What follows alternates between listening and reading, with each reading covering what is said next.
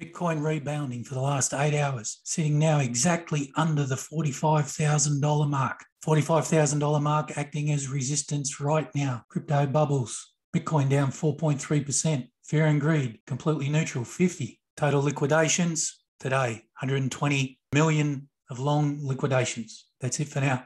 Talk again soon.